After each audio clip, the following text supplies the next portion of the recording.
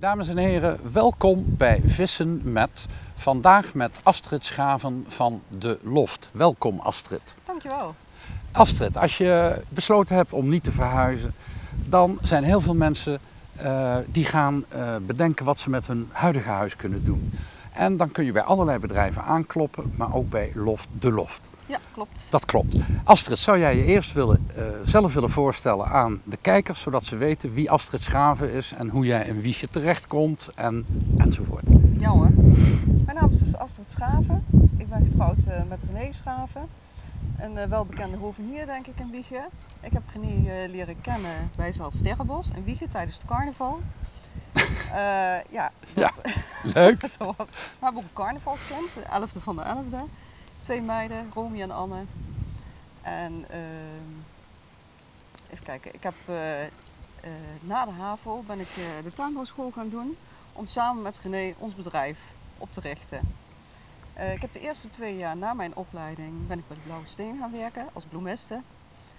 Na twee jaar ben ik thuis gaan werken om thuis op het bedrijf te gaan werken. Dat deed ik voornamelijk de verkoop en het onderhoud van het bedrijf. Ja. toen ik de kinderen kreeg, en ongeveer in 98 zeg maar, is ons bedrijf uh, groter geworden. Hij is uitgebreid. Toen ben ik een tuinwinkel begonnen. Door de grote vraag naar workshops heb ik dat ook gedaan. Dus ik had een tuinwinkel en workshops. Ik denk dat veel Wiegenaren mij van de workshops kennen. Ik heb veel gezichten gezien toen. Dat moet wel, ja. ja. En dan wordt het 2010 en dan begin je Loft. Ja, klopt. De Loft. Ja. ja. Wat is de Loft? Uh, de loft is eigenlijk een uh, oud fabrieksgebouw dat door, op, door een woonruimte wordt benut. Dus in de jaren 50 is dat in New York ontstaan. Toen veel kunstenaars en bohemians goedkope ruimte konden vinden om te wonen. Mm -hmm. nou, tegenwoordig is het eigenlijk wel een luxueus concept. En eigenlijk is het ook een, een elegant, dure manier van wonen. Maar wel een hele mooie manier van wonen. Ja. Vandaar het naam De Loft. Ja. En wat biedt de loft aan de Wiegenaar? Nou, of loft, aan uh, de klanten? Ja, de loft uh, uh,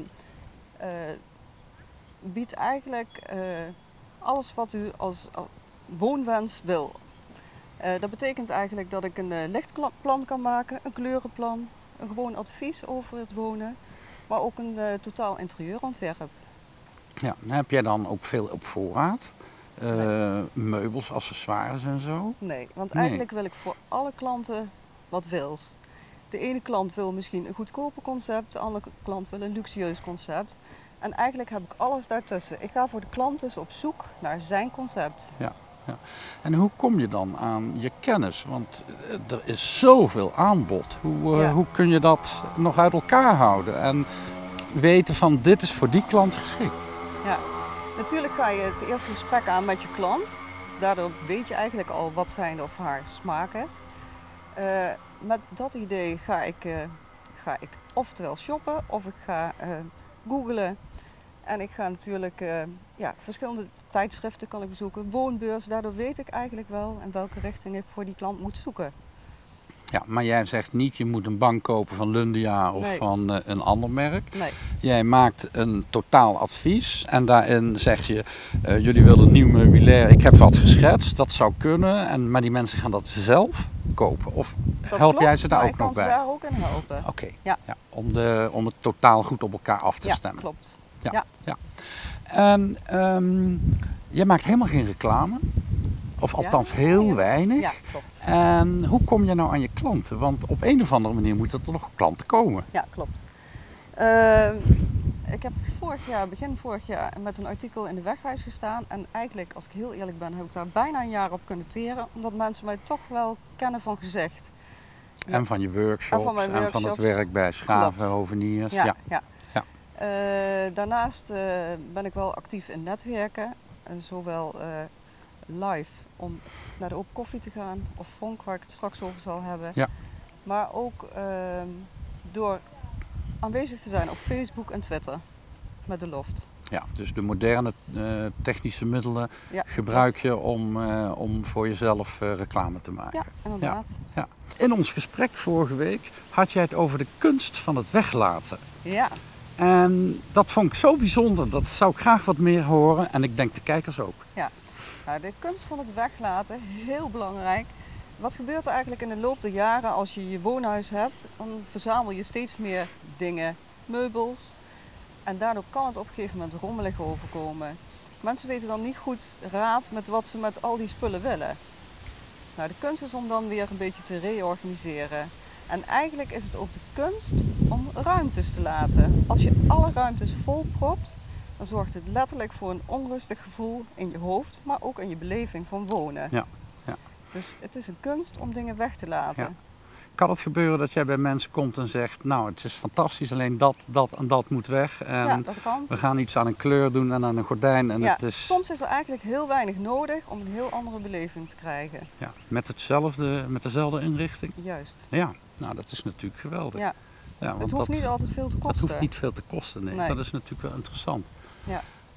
Jij, jouw bedrijf zit aan de Oosterweg. Klopt. Je hebt dus eigenlijk niks met het centrum te maken. Toch ben jij je actief gaan inzetten voor het Centrumplan 2020 van Wiegen. Ja, dat klopt. Op de eerste plaats, wat vind je van eh, het, het feit dat dat in een vroeg stadium is opgestart? Ja, ik vind het eigenlijk een heel mooi plan. Ik, woon, of ik kom niet echt, eh, ja, ik kom veel in het centrum. Ik ben toch wel een, eh, getogen Wiegenaar. Ik ben trots op Wiegen. En ehm, ik vond het een heel mooi initiatief dat zowel bewoners als eh, winkeliers en zelfs politici mee konden doen aan dit plan. En omdat de LOF natuurlijk toch een sfeermaker is, vind ik dat ik als Wiegenaar ook een sfeertje kan creëren in Wiegen. Nou, daar wil ik graag een steentje aan bijdragen. En in welke commissie zit je? En de commissie kwaliteit. Kwaliteit. En Ja. dat heeft ook vanwege je beroep, Ja, klopt. ben je daarin gaan ja, zitten. ja, daar hoor ik het meest thuis. Ja. En ja. komen jullie veel samen? Ehm, ja, behoorlijk. Nou, in ieder geval één, nou, één keer in de maand, zeker. De en dan maand. wordt er ook elke keer daadwerkelijk gebeurt er iets. Ja. Dat is wel de bedoeling. Ja. En er zijn natuurlijk korte termijn plannen en lange termijn plannen. Maar er gebeurt wel wat.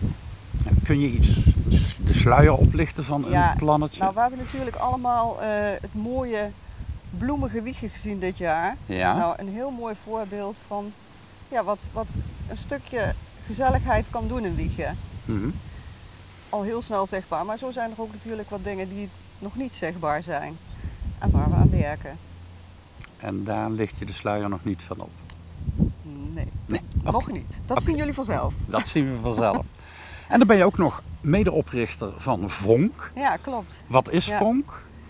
Ja, Fonk eh, is eigenlijk heel spontaan opgericht door eh, een collega en een vriendin van mij, Helga Gele van Yellow Art.